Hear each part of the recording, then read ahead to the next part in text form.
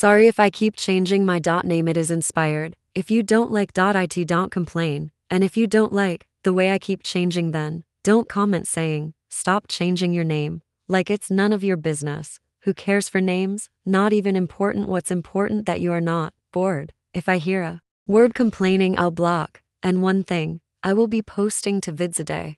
I originally hear my sister complain about changing my name so many times. What happened? Talking about how many times she keeps changing her display. I don't want to argue, but if sis is watching this, don't complain I don't complain about yours so. Don't complain MF.